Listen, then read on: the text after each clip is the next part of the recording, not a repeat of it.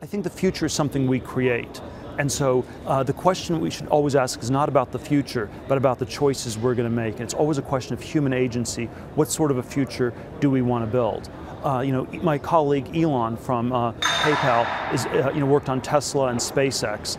And so he's building a future in which there will be electric cars and manned missions to Mars. There was nothing automatic about that that that was destined to happen. It's just he chose to build it. Well, how how long before Elon makes helps people go to Mars? Probably 20 years. At the end of the day, it's always uh, people who create the future. What sort of a future do you want to build? Like us, tweet us at Rebecca Jarvis, and comment below. From the studios in New York City, I'm Rebecca Jarvis. Have a great day.